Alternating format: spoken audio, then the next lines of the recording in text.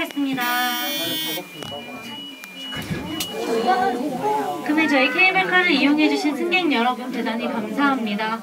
잠시 후 설악산에 대한 안내 방송 나오니 주변 분들을 위해서 목소리 낮춰주시면 감사하겠습니다.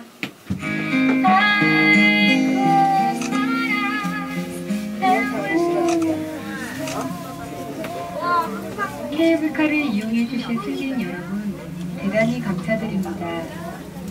케이블카는 설악성을 출발하여 목적지 검은역까지 약 1200m이며 최대 초속 8m까지 운행 가능합니다. 이곳 설악산은 봉우리마다 바위가 줄지어 있고 그 빛깔이 눈처럼 하얗다 하여 설악산이라 부르고 있습니다. 뒤로 북쪽을 향해 보이는 바위는 해발 873m, 둘레가 4km가 넘는 거대한 바위로서 울산바위라 부르며 설악동을 출발해서 약 2시간이면 바위 정상까지 오르실 수 있습니다. 또한 오르는 길목에는 한 사람이 흔들어도 흔들린다는 흔들 바위를 보실 수 있습니다.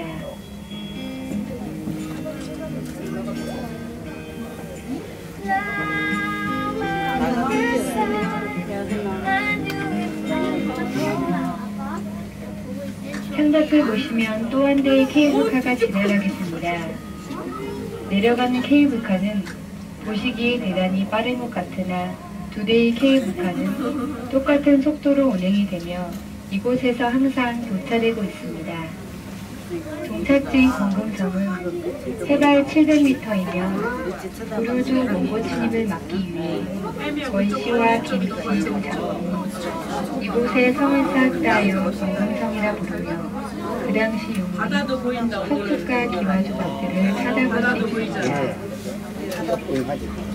왼쪽 정면의 우뚝 솟은 바위는 마치 대나무 손처럼 생겼다 하여 죽순목이라 부르고 이어서 끝까지 펼쳐진 바위는 마치 병풍을 펼쳐놓은 것 같다 하여 병풍바위라 부르고 있습니다.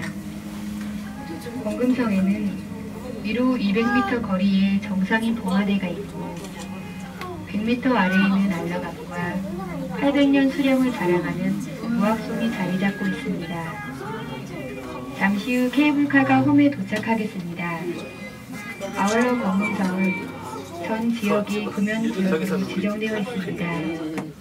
잠시 안내 말씀드리겠습니다. 구경 마치고 내려가실 때에는 탑승 시간에 관계없이 줄 서는 순서대로 탑승이 되고 있습니다. 탑승권 왕복권으로서 잔류인원 확인차 다시 한번 사용하오니 잘 보관해 주시기 바랍니다. 아울러 설악산 국립공원 전 지역 감양구역입니다. 도착 후 내리실 문은 탑승하신 문의 반대편 왼쪽 문 되겠습니다.